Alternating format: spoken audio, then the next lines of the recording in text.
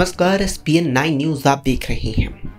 उत्तर प्रदेश में दो चरणों के तहत लोकसभा की 16 सीटों पर वोटिंग की प्रक्रिया पूरी हो चुकी है, जिसके बाद अब तीसरे चरण में 7 मई को तेरह और सीटों पर मतदान होने वाला है।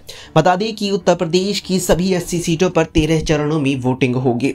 इस बीच सूबे की कैसरगंज सीट सबसे हॉट सीट बनी हुई है, जिसकी चर्चा देश भर में हो रही है। और इसका मुख्य कारण है मौजूदा सांसद और बीजेपी नेता ब्रजभूषण शरण सिंह। जिस तरीके से ब्रजभूषण शरण सिंह पर महिला पहलवानों ने यौन उत्पीड़न के आरोप लगाए थे, उसके बाद से ही ब्रजभूषण चर्चाओं का केंद्र बने हुए हैं और उन्हीं को लेकर बीजेपी कैसरगंज सीट पर असमंजस की स्थिति में नज़र आ रही है।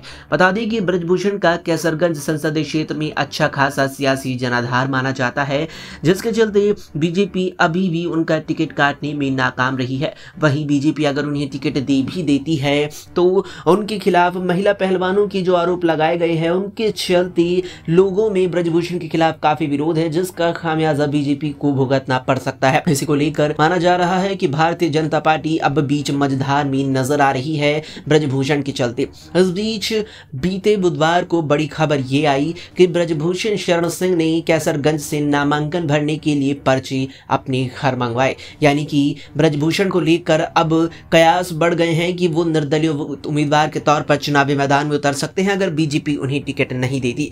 दरअसल बुधवार शाम ही ये बड़ी खबर सामने आई कि ब्रजभूषण ने कैसरगंज में नामांकन दाखिल करने के लिए पर्चे मंगवा लिए हैं। अब ये देखना होगा कि बीजेपी उन्हें टिकट देती है या नहीं। और अगर नहीं बीजेपी टिकट देगी तो ब्रजभूषण क्या चुनावी मैदान में निर्दलीय उतरते नज़र आएँगे। क्योंकि ब्रजभूषण सिंह, उन नेताओं में से एक है जो पार्टी आलाकमान के किसी भी फैसले को चुपचाप स्वीकार नहीं करने वाले हैं। वे हमेशा अपने तल्ख तेवर दिखाने के लिए माने जाते हैं। ऐसे में बीजेपी अगर उनका टिकट काटती है तो निश्चित तौर पर वो निर्दलीय उम्मीदवार के तौर पर चुनावी मैदान में उतर सकते हैं। फ़िलहाल के लिए इस वीडियो में इतना ही। देश और दुनिया की तमाम खबरों के लिए देखते रहें एस पी न्यूज़।